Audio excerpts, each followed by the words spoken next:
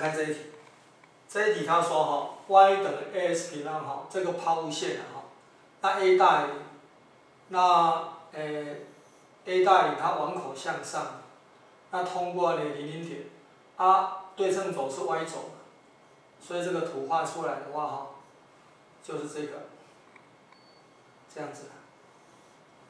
好，然后他说呢，跟什么哈？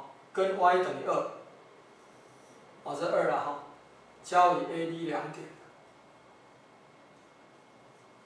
那 AB 的长度是等于四，所以呢这个是等于二。好，那么他问 A 等于多少？好，那现在哈，这个是二嘛，好，那我就把这个这一点哈，这个 x 坐标不晓得，哦，这个这个 x 坐标不晓得，那 y 坐标晓得，是二，这 x，那这一点的话满足这个方程式，那带进去就可以把 a 算出来，哦，这个是 y 等于二。